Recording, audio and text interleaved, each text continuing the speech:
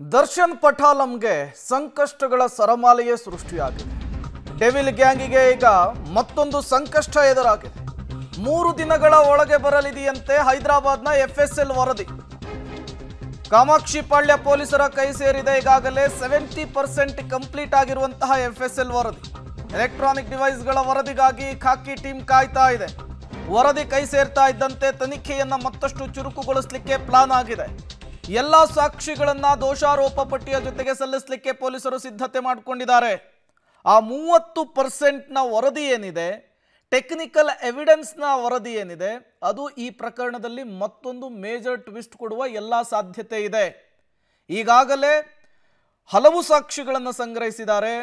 ಏಳಕ್ಕೂ ಹೆಚ್ಚು ಜನರ one sixty four ಹೇಳಿಕೆಗಳನ್ನು ದಾಖಲಿಸಿದ್ದಾರೆ. ಅದರ ಜೊತೆಗೆ ಈ ಟೆಕ್ನಿಕಲ್ ಎವಿಡೆನ್ಸ್ಗಳಿಗಾಗಿ ಎಫ್ ಎಸ್ ಎಲ್ಗೆ ವಿಧಿವಿಜ್ಞಾನ ಪ್ರಯೋಗಾಲಯಕ್ಕೆ ಒಂದಿಷ್ಟು ಡೇಟಾವನ್ನು ಕಲೆಕ್ಟ್ ಮಾಡಲಿಕ್ಕೆ ಮೊಬೈಲ್ಗಳು ಸೇರಿದಂತೆ ಹಲವು ಎಲೆಕ್ಟ್ರಿಕ್ ಡಿವೈಸ್ಗಳನ್ನು ಕಳುಹಿಸಿಕೊಡಲಾಗಿತ್ತು ಅದರ ವರದಿ ಇನ್ನೇನು ಮೂರು ದಿನಗಳ ಒಳಗೆ ಪೊಲೀಸರ ಕೈ ಸೇರುವಂತಹ ಸಾಧ್ಯತೆ ಇದೆ. ಆ ವರದಿ ದರ್ಶನ್ ವಿರುದ್ಧ, ದರ್ಶನ್ ಪಠಾಲಂ ವಿರುದ್ಧ ಪೊಲೀಸರಿಗೆ ಮತ್ತೊಂದು ಅಸ್ತ್ರವಾಗುವಂತಹ ಸಾಧ್ಯತೆ ಇದೆ.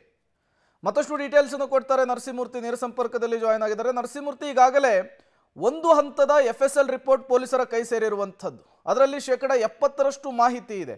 ಇನ್ನು ಮೂವತ್ತರಷ್ಟು ಮಾಹಿತಿ ಇರುವಂತಹ ಎಫ್ ಎಸ್ ಎಲ್ ರಿಪೋರ್ಟ್ಗಾಗಿ ಪೊಲೀಸರು ಕಾಯ್ತಾ ಇದ್ದಾರೆ. ಇದು ಎಷ್ಟು ಇಂಪಾರ್ಟೆಂಟ್ ಆಗುತ್ತೆ? ದರ್ಶನ್ ಅವರಿಗೆ ಕಾನೂನಿನ ಕುಣಿಕೆಯನ್ನು ಮತ್ತಷ್ಟು ಜಟಿಲ ಮಾಡುವಂತಹ ನಿಟ್ಟಿನಲ್ಲಿ ಅಂತ.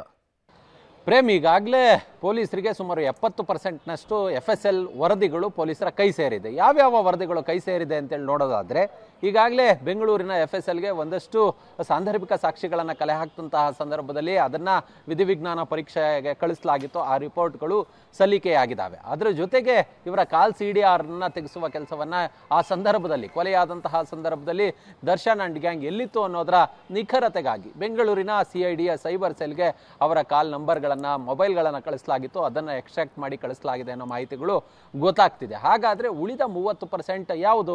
ಪೊಲೀಸರ ಕೈ ಸೇರಬೇಕಾಗಿರ್ತಕ್ಕಂತಹ ವರದಿ ಅನ್ನೋದಾ, ನೋಡೋದಾದರೆ ಈ ವರದಿಗಳು ಹೈದರಾಬಾದ್ನ ಎಫ್ ಎಸ್ ಎಲ್ನಿಂದ ಬರಬೇಕಿದೆ. ಆ ವರದಿಗಳು ಯಾವುವು ಅನ್ನೋದಾದರೆ, ಅವತ್ತು ಕೊಲೆಯಾದಂತಹ ದಿನ ಆರ್ ಆರ್ ಆರ್ ನಗರದ ಶೆಡ್ನಲ್ಲಿ ರೇಣುಕಾ ಸ್ವಾಮಿಯನ್ನು ಹೊಡೆದು ಎಳೆತಂದು ಸೆಕ್ಯೂರಿಟಿ ರೂಮ್ಗೆ ಹಾಕಲಾಗಿತ್ತು. ಅದು ಸಿ ಸಿ ಟಿ ವಿಯಲ್ಲಿ ಕ್ಯಾಪ್ಚರ್ ಆಗಿತ್ತು. ಆ ಬಳಿಕ ಸಿ ಸಿ ಟಿ ವಿಯಲ್ಲಿ ಆ ಒಂದು ಅಂಶವನ್ನು, ಆ ಒಂದು ವಿಡಿಯೋವನ್ನು ಅಳಿಸಿ ಹಾಕುವ ಕೆಲಸವನ್ನು ಮಾಡಲಾಗಿತ್ತು. ಆ ಡಿ ವಿ ಆರನ್ನು ಎಫ್ ಎಸ್ ಎಲ್ಗೆ ಕಳಿಸಲಾಗಿತ್ತು. ಇನ್ನು ದರ್ಶನ್ ಹೊಡೆಯುವ ಸಂದರ್ಭ ಹೊಡೆಯುವಾಗ ವಿನಯ್ ಆರೋಪಿ ಏನಿದ್ದ ಈತ ಅದನ್ನು ವಿಡಿಯೋವನ್ನು ಕೂಡ ಮಾಡಿದ್ದ ತನ್ನ ಐಫೋನ್ ಮೊಬೈಲ್ನಲ್ಲಿ. ಹೀಗಾಗಿ ಅದನ್ನು ರಿಟ್ರೀವ್ ಮಾಡಬೇಕಿತ್ತು. ಸೇವ ಕೇವಲ ಮೂರು ಸೆಕೆಂಡ್ ಇದ್ದಂತಹ ಆ ವಿಡಿಯೋವನ್ನು ರಿಟ್ರೀವ್ ಮಾಡಬೇಕಿದೆ. ಹೀಗಾಗಿ ಈ ಎರಡೂ ವಿಡಿಯೋಗಳನ್ನು ಆದಷ್ಟು ಬೇಗ ಕೊಡಿ ಅನ್ನೋ ನಿಟ್ಟಿನಲ್ಲಿ ಪೊಲೀಸ್ ಇಲಾಖೆಯಿಂದ ಮನವಿಯನ್ನು ಮಾಡಿಕೊಳ್ಳಲಾಗಿದೆ. ಈ ಶನಿವಾರದ ಒಳಗಾಗಿ ಹೈದರಾಬಾದ್ ಎಫ್ ಎಸ್ ಎಲ್ನಿಂದ ಕಾಮಾಕ್ಷಿಪಳ್ಳಿಯ ಪೊಲೀಸರಿಗೆ ಆ ರಿಪೋರ್ಟ್ಗಳು ಕೈ ಸೇರಲಿದೆ. ಹೀಗಾಗಿ ಅದಾದ ಬಳಿಕ ಚಾರ್ಜ್ ಶೀಟನ್ನು ಸಲ್ಲಿಕೆ ಮಾಡೋದಕ್ಕೆ ತಯಾರಿಯನ್ನು ಮಾಡಿಕೊಳ್ಳಿದ್ದಾರೆ.